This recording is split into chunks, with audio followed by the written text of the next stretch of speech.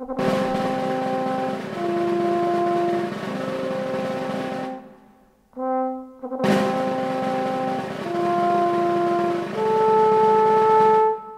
Aboriginal people were under the Protection Act, particularly in Queensland, but also other states had a similar Protection Act that all came in around the, um, end of the 1890s, uh, early 1900s. And so that basically controlled their lives, their movement, where they could live.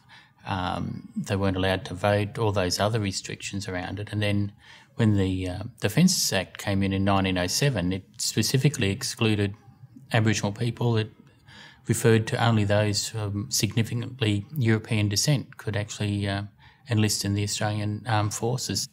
Most Aboriginal people were living on uh, on missions or Aboriginal uh, uh settlements, uh, though basically under the control of the government. In Queensland, every Aboriginal person was classed as a, a ward of the state, so they didn't have the, um, I guess, that autonomy, that power to make their own decisions. One of the things that happened was because of that Defence Act, they they had to convince the enlistment officer that they weren't Aboriginal. They, so they, a lot of them would disguise their identity. So Maori, Filipino, um, Spanish, all those other nationalities or, or, cultural backgrounds were brought into it. And so there's a classic case of Richard Martin from Stradbroke Island, born at Dunwich. But uh, when he enlisted, he said to the uh, enlistment officer, that he was born in Dunedin in New Zealand and that he was a Maori. So he goes away with the 9th Battalion, lands at Gallipoli, survived Gallipoli, but dies on the Western Front. And after his death, they've had to identify the relative. And so they knock on the door down at Southport and discover his mother wasn't a Maori, but uh, an Aboriginal. And so there's all this toing and froing with the uh, Aboriginal Affairs Department now and the Defence Department to identify whether this person, as an Aboriginal, was entitled to her son's belongings. As the war went on, there, there's quite a few that, that did manage to sneak in either assumed identity or change of name.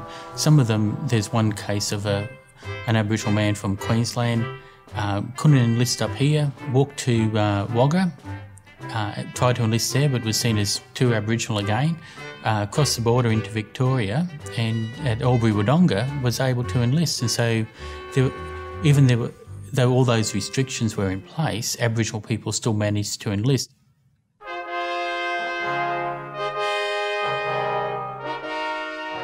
With all the heavy casualties on the Western Front, in 1917 in May, there was a change in the Defence Force Act where an Aboriginal person who had at least one parent and then later a grandparent who was non Aboriginal, and then there was a, another clause for the enlistment officers if they felt that that Aboriginal person had grown up with and worked with white people, then they were able to enlist. But again, it came down to that personal judgment of the enlistment officer.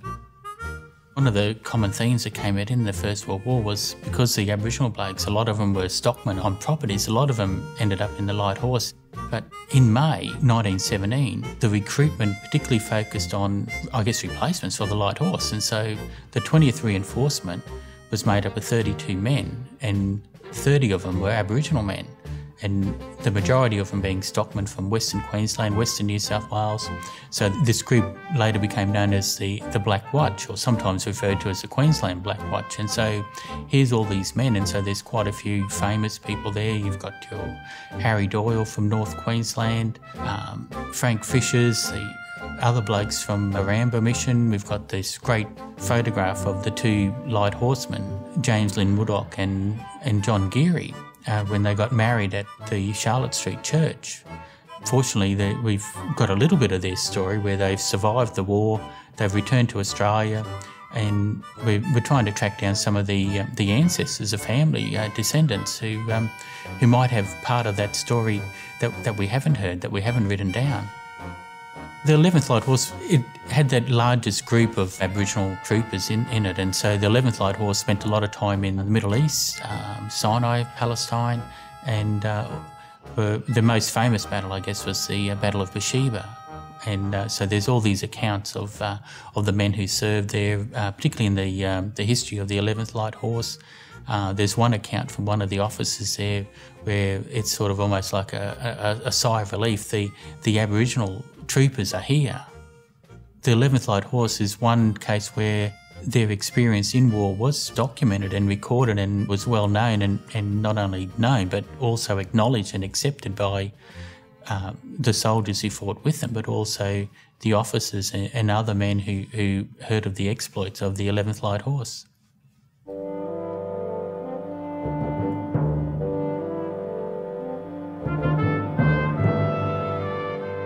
We find there's a handful of Aboriginal soldiers who received various medals on the Western Front, and the first one was a, a, a Queensland bloke uh, known as Maitland Madge from Cooktown, and so he's won the uh, the military medal for his role in a um, essentially reconnaissance where the the group was was pinned down by uh, heavy heavy artillery and machine gun fire, but their radio uh, equipment was out of action, and so so Maitland has has used his traditional bush skills to sneak out across the uh, the no man's land, and with a pen and paper, he's sketched all the locations of the artillery and the machine gun nests.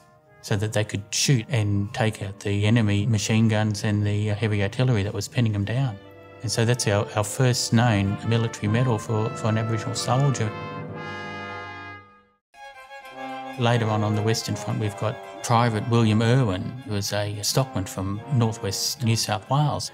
Again, they're, they're pinned down by enemy fire on the Western Front, and there's four machine gun nests in particular that are that have pinned down the uh, the battalions, and so they can't they can't move. And Irwin has made this incredible act of bravery, this decision to leave the the safety of the trench, go over the top, and he's taken out the first machine gun nest rearmed himself with whatever he could find there, grenades and so on, taken out the second, the third, and then he's made this incredible dash, they, they've called it, where he's taken out the first three and then he's continued on his dash to take out the fourth, and unfortunately he's, he's fallen fatally with the um, machine gun fire. And um, fortunately, someone has followed him, another soldier who's uh, picked up a grenade then and has managed to take out that, that last machine gun nest. William Irwin ended up dying of his wounds and uh, only received the military medal, but the non Aboriginal soldier who followed him to take out the last one ended up with the Victoria Cross. After the war, the recognition, that acknowledgement, all that camaraderie of serving in the war, that same recognition wasn't given to the Aboriginal soldiers when they came back. They weren't allowed to join the RSL a lot of the um, the men just returned to the missions and uh, they had to hand their uniforms and any other possessions belonged to the uh, chief protector if they were under the Protection Act. So they didn't necessarily have their war service medals. They didn't have their uniform to pass on to their children and grandchildren. So these men and their their stories disappeared. They, um, there's no acknowledgement. The official war history written by Bean it only identifies William Irwin as the only Aboriginal soldier. None of the other estimated 1,200 to 1,500 soldiers of Aboriginal descent were acknowledged or recognised in any way. It wasn't until the 1930s when the RSL, through their Reveille magazine, and particularly with some of the returned soldiers, they were saying, saying, well, it's time we acknowledge these Aboriginal men who fought alongside us. They they died just as as fine as well as any other other man who died in the trench. They had the first Aboriginal Day of Mourning in Sydney. And so around that time, there's this agitation for recognising Aboriginal people as citizens, and then part of that was also recognising their efforts in the war. So the Reveille magazine, in the space of two or three journals, They've collected names of about 200 to 300 Aboriginal men. It's the first recognition, the first acknowledgement, the first written record of how many soldiers of Aboriginal descent actually served in the First World War. We think it's somewhere between 1200 and 1500, but with the, the change of names or the hidden identities, some of those stories are only just coming to light. There's a classic photograph of a headstone up in North Queensland at uh, Herberton on the War Memorial there, where it's listed the soldier Private William Perrott and in brackets Aboriginal, but not all of them are that easy to find. There was also evidence that some of these men lined up again for the Second World War, and so there was a lot more recognition of the efforts in the Second World War, particularly with the Torres Strait Islander infantry, but there was still that hidden history of the First World War. We think it's probably around 300, 350 Queensland Aboriginal blacks out of that that total of the 1200. And I guess, yeah, part of the State Library project is identifying those 320, 350 men and hopefully uncovering some of their stories that um, that we can share with the uh, the wider Queensland and Australian um, community because they're stories that up until the last five, ten years they, they weren't known. They weren't documented in the history of World War One. They weren't um, their stories weren't told in in the classrooms uh, when they did the history units on World War One their names weren't mentioned at the um, Anzac Day parades. They weren't necessarily recognised by the RSL until after the 1960s, 1970s. And so I guess the great thing with this project at the State Library is that we're trying to document those stories, re- record the histories that weren't told so that they reach a wider audience now.